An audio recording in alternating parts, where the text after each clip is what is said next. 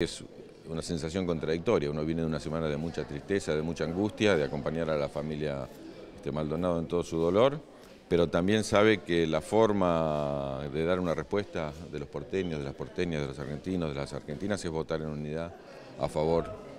de la democracia. Se vote por la fuerza política que se vote, hoy cada argentino que concurre a las urnas, le está dando una respuesta y está eh, con su voto también pidiendo justicia y que haya castigo a los culpables, porque la única forma que nosotros conocemos para que esto se pueda reflejar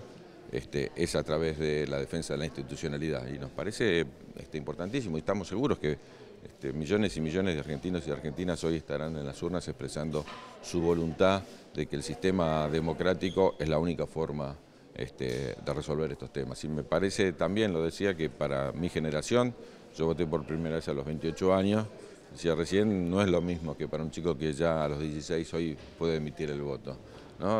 Nosotros festejamos cada vez que vamos a votar y para mí me parece increíble todavía este, esta posibilidad de votar. Nosotros somos por naturaleza optimistas y así vamos a esperar el día sin decir más para no violar la veda.